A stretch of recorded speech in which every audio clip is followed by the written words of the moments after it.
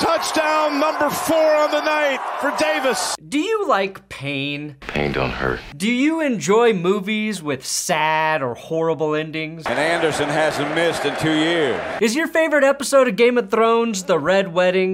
Looking to the end zone for the win. He caught it. Well, today's episode of That's Good Sports is for you. I'm football word vomiter Brandon Perna, and today I want to relive some of the most heartbreaking playoff losses in NFL history. As a Broncos fan, my team is going on eight straight seasons without a playoff appearance, and I just want to feel something in January, even if it is pain. While every playoff loss stings, some sting like bees. Bees who also infected you with AIDS. I'm talking 80 for me, an all time heartbreaker, personally, was the conclusion of the 1996 Denver Broncos season. They were 13 and 3, first place in the AFC. This was the first season I really remember being all in on my team as a Broncos fan. It was the first impressive season the Broncos had had in five years, clinching a first round bye. Denver was matched up with the Jacksonville Jaguars, who, under head coach Tom Coughlin, were in their second season as an expansion team. They had a respectable year, but we're 9 and 7 and 12 and a half point underdogs heading into the game, which made their victory all that much more painful as a Broncos fan. That game was literally the first time I cried after a football game. The first tears I ever shed were not of joy, but of pain and agony in the throes of defeat. Almost every football fan has had an experience like that. It's a rite of passage for sports fans. Before you can know true joy, you must know what it feels like to have your heart ripped out of your chest on the biggest stage. Now, Denver won the Super Bowl the following season, which does not make this specific loss an all time heartbreaker. I am going to reveal those heartbreakers to you in this episode of That's Good Sports.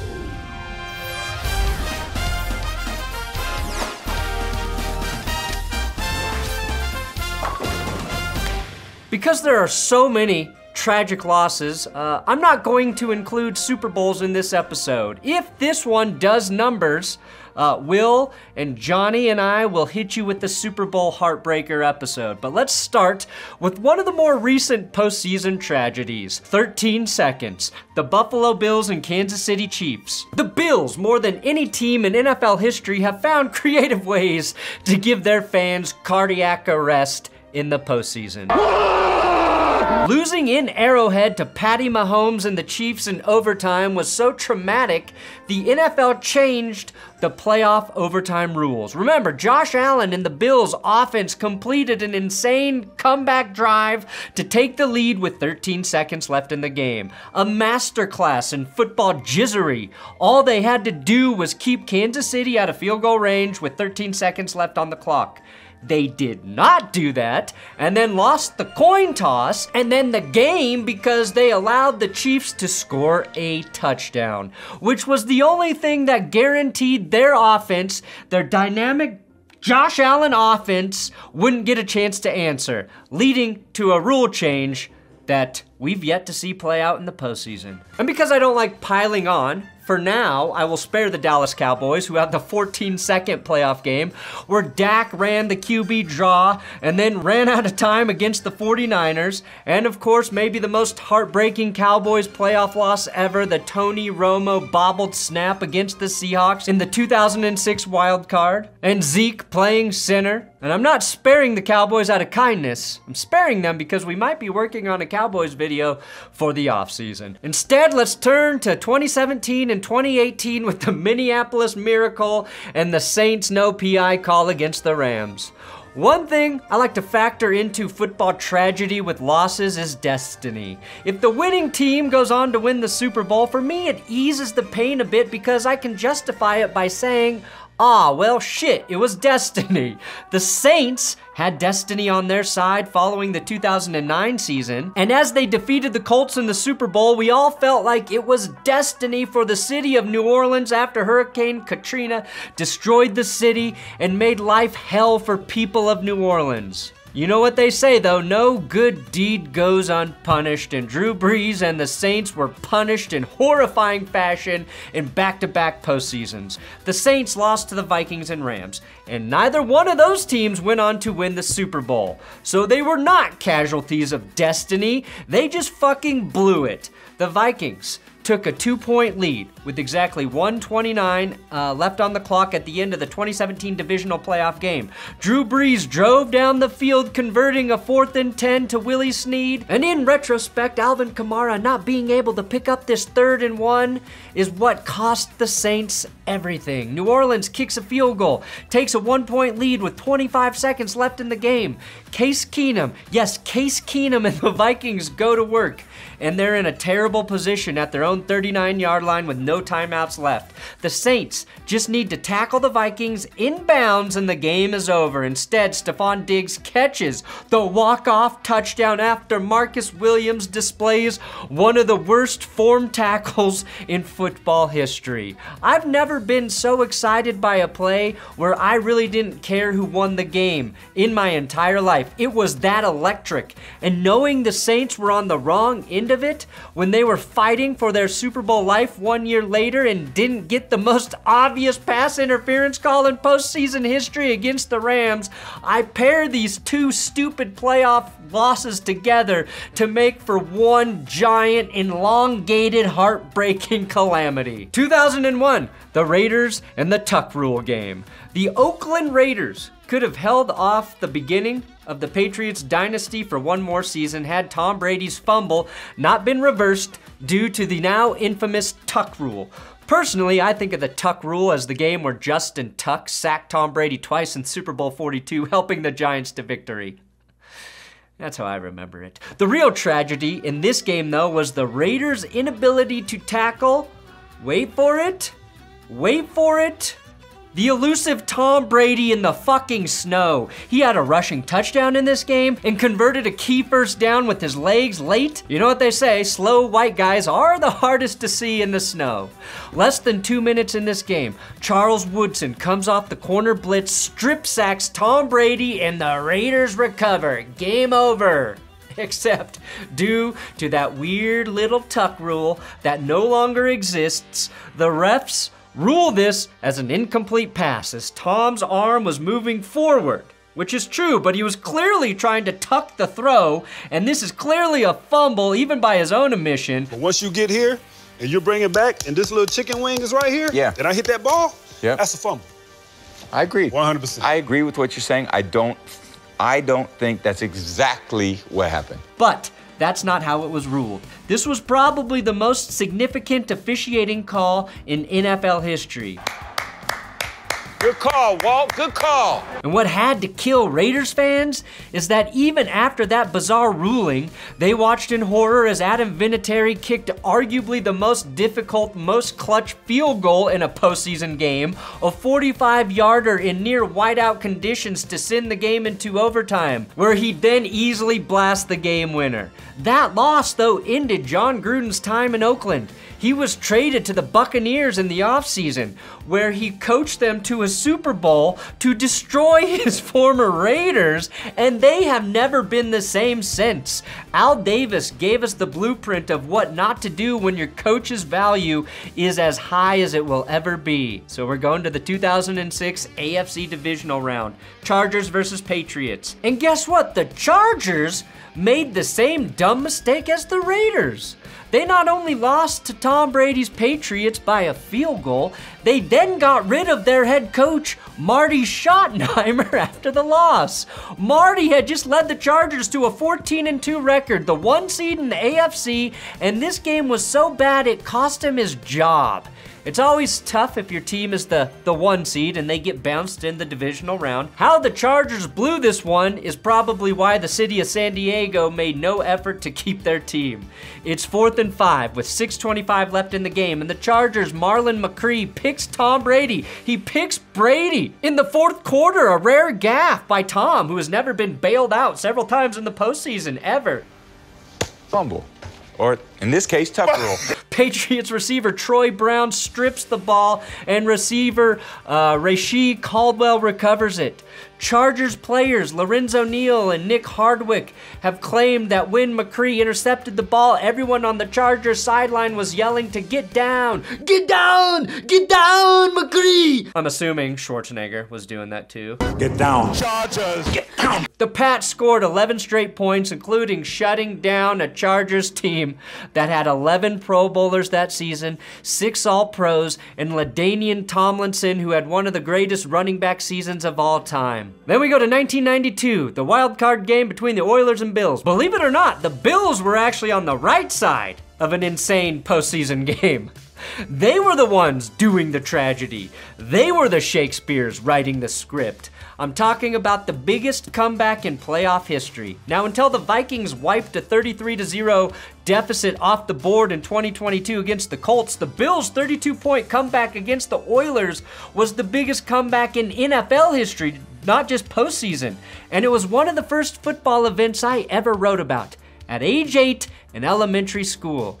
The game is simply called The Comeback. The heartbreak is really twofold here, though. One, you have the Oilers blowing a 32 point lead at halftime with Warren Moon at quarterback. A guy I would have loved to see get one Super Bowl. Instead, the Oilers never made it to the big game, ever. Two, even though the Bills won, it led to their worst ass kicking in the Super Bowl, which was also their third straight loss. The Bills accomplished this feat with backup quarterback Frank Reich taking over for the injured Jim Kelly.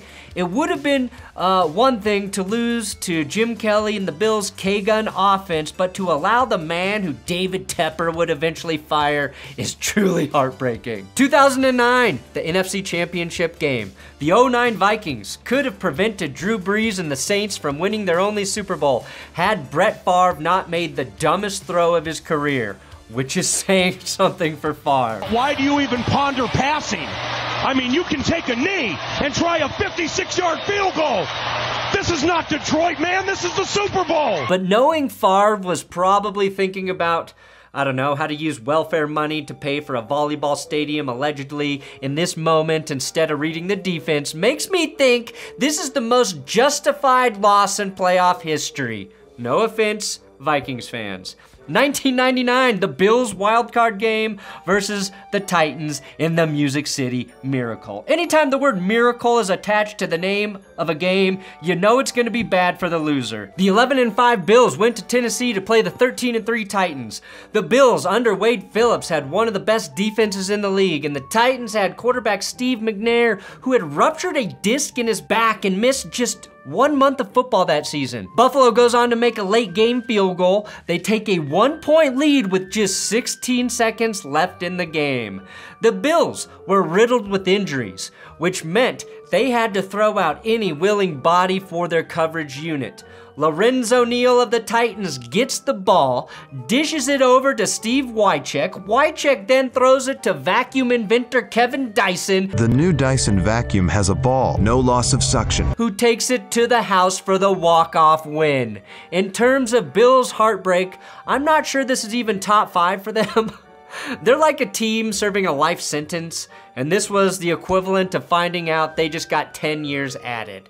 But what does hurt like the tuck rule and the Saints' no call on the pass interference play, is that this is probably a forward pass by Wycheck, which is illegal. Dyson being well ahead of the line makes it look worse than it really is because I think it's close, but I think 99 out of 100 times this is probably ruled a penalty and called back. Then we've got Seahawks Packers 2014.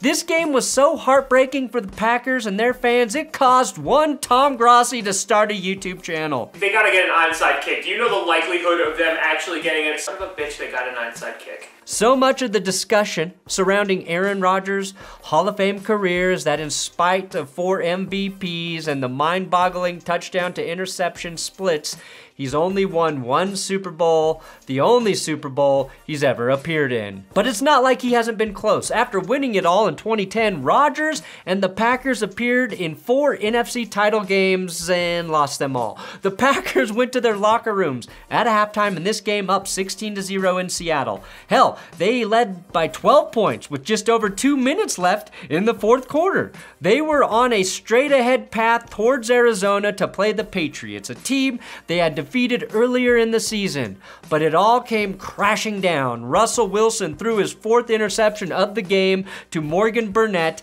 and instead of returning it for a possible pick six, Julius Peppers told him to fall down, assuming that the game may already be won. But Burnett was just the first domino to fall for the Seahawks to get back into the game, and fall they did. A fake field goal where Jon Ryan tossed a touchdown to wide open Garry Gilliam, uh, a desperation onside kick that bounced off reserve tight end Brandon Bostick and into the arms of Seahawks receiver Chris Matthews, a 14 yard touchdown run by Marshawn Lynch, and a vintage Russell Wilson play on the two point conversion. It only took the Seahawks 44 seconds to turn a 12 point deficit into a three point lead. That's heartbreaking. It didn't matter that a hobbled Aaron Rodgers orchestrated one of the best drives of his career to tie it up before overtime. We all know what happened in that extra period. Seattle got the ball first and never let go. Stamping their ticket to the Super Bowl on a rainbow lob from Russell Wilson to Jermaine Kearse in the end zone. The Packers have yet to return to the Super Bowl, but this is the game, the quarter really, that still keeps Packers fans up at night. They lost to a quarterback they intercepted four times and sacked five more times against the team they had fallen to in the absurd fail Mary game two years earlier. Scott is too good all the time, man. Every time. The Cowboys and Vikings are now tied for most playoff losses at 31.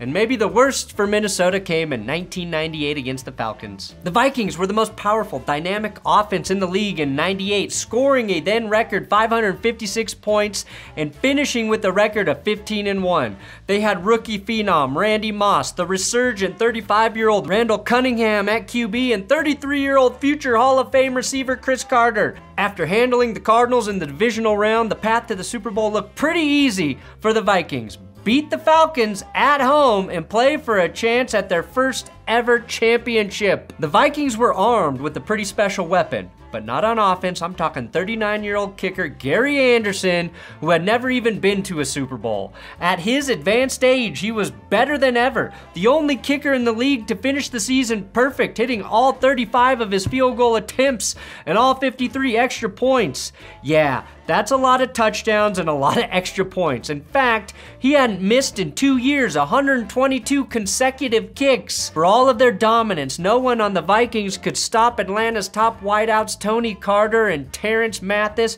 who combined for over 200 yards and two touchdowns. Late in the fourth quarter, the Vikings had a chance to put the game out of reach. If Gary Anderson could do what he had done all year and connect on a 38 yard field goal, one yard shorter than his age. And he saved his first miss of the season for the most crucial moment and maybe the most cruel announcer jinx in sports history. And Anderson hasn't missed in two years. And Anderson hasn't missed in two years.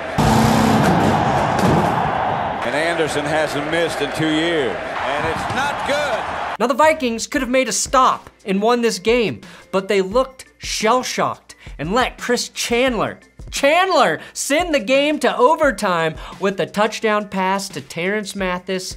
Uh, the Vikings offense, the record setting offense, had two more chances in overtime to win it. All they needed to do was get into field goal range, but both possessions ended in a punt, and the other, Andersen, Morten, won it on coincidentally a 38 yard field goal. The Vikings haven't been that close to a Super Bowl since that day. Cunningham never went to a Super Bowl, Carter never went, and Moss never won. All right, let's talk about my Broncos who handed the Pittsburgh Steelers their most heartbreaking playoff loss. The 11 and 5 Steelers had to go to Denver to play the 8 and 8 Tim Tebow led Denver Broncos who had lost 3 in a row to sneak into the playoffs. The Steelers have had so much postseason success, it's hard to feel bad for them and their terrible towels, but it's hilarious to me that Tim Tebow completed just 10 passes against that defense and managed over 300 passing yards and had more passing touchdowns than Big Ben in this game. This one is a true heartbreaker because it went into overtime, and it was the first ever overtime playoff game after the overtime rules had been changed from sudden death to each team could have a possession as long as the team that got the ball first didn't score a touchdown. But on the first play, In overtime, Tim Tebow hits Demaryius Thomas, who stiff armed Ike Taylor and never looked back. Not only was that Tebow's only playoff win, he only started one more game in his career after that. And finally, a two for one special the drive and the fumble, delivered by my Broncos to the Browns in the 80s. What was more heartbreaking? The drive or the fumble? Well, they are both AFC championship losses to the same team, both so devastating to the Browns that it only takes two words to conjure up those nightmarish endings for Cleveland. But I think the drive was definitely worse than the fumble. And here's why. First of all, uh, the drive happened in Cleveland, in the dog pound. They all laid witness to the game that made John Elway John Elway. Cleveland and its fans still had their innocence. They were closer to the team that dominated the NFL with Jim Brown than the team that would eventually move and stumble through the first couple decades of the 21st century. That drive totally shattered their worldview. They were ahead in the final minutes, and there were 98 and a half yards in between the Broncos and merely tying the game. They just needed one stop. And he completes a pass. Then he completes another pass. Hell, all they had to do was stop Denver from converting on third and 18, and they would have gone to Pasadena. The ball clipped off of Steve Watson, and Elway still picked it up and fired a strike to convert. Elway got his team into the end zone, and Denver won the game with a short kick in overtime. A total stunner. The momentum had swung totally in Cleveland's favor. This was not an offensive shootout. Every yard was hard earned, and Elway managed to get 98 of them when it mattered the most. The fumble one year later was a shootout. At least it was when Cleveland came back from 28 to 10 and tied the game up at 31 in the fourth quarter. Denver eventually wrestled the lead back, and we know how Cleveland's attempt to answer back went. They fumbled on the goal line. You can say that the fumble by Ernest Byner was an all time blunder, but it was just as equally incredible uh, play by the Broncos safety Jeremiah Castille to rip the ball away before Byner crossed the goal line, causing more pain in Cleveland. And Cleveland was never supposed to win that game. They were supposed to win the year before until they didn't. And that game, more than the fumble, changed what it meant to be a Browns fan. Really, what it meant to be a Cleveland sports fan. It's a generational trauma that parents pass on to their children and still exists and forever will until the Browns finally win a Super Bowl. Thanks for watching That's Good Sports. Most heartbreaking, tragic, colossally horrible playoff losses. Please subscribe here on YouTube, and if you like this video, thumbs it up, and uh, we will get a Super Bowl one in as well.